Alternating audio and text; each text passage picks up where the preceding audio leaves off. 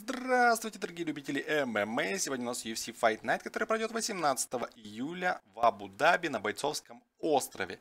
Конкретно в этом выпуске у нас Арман Сарукян против Дэви Рамоса. Вот эта битва будет, конечно.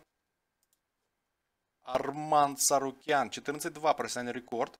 23 года, всего лишь 23 года, вы вдумайтесь, уже дерется в UFC очень, в очень высоком уровне стиле, ну, в общем, на очень высоком уровне дерется. 172 сантиметра рост.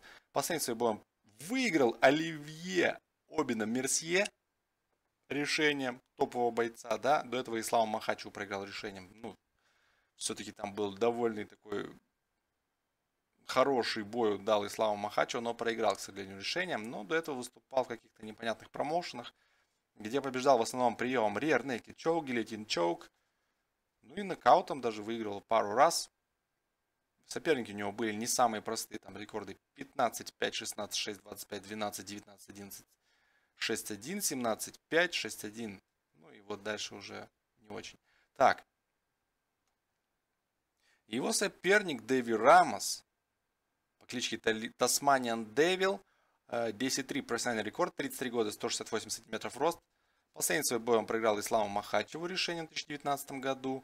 До этого у него была серия из четырех побед подряд в UFC. Криса Грюсмахера побеждал рерный кичок в третьем раунде, задушил. Ника Хейна задушил также рерный кичок в первом раунде. И Джона Гюнтера победил в первом раунде, также рерный кичок задушил.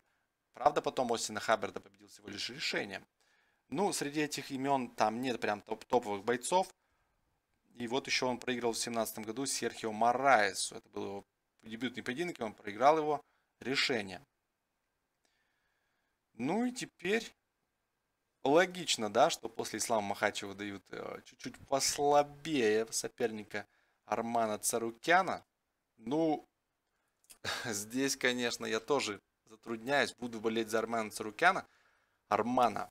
Так, и если здесь андердогом идет Деви Рамос, то буду ставить на Деви Рамоса. Но давайте посмотрим. Ну, кстати, смотрите, отличная возможность. 2.77 против 1.47. 2.77, почти трешка на Дэви Рамоса. Вообще не верят, почему, не знаю. Здесь я не, не увидел прям такого какого-то преимущества у Армана Царукяна против Дэви Рамоса. Ну, может и выиграет, конечно, но это будет очень непросто. Давайте болеть за Армана, но 2.77 очень заманчиво. На этом все. Пока.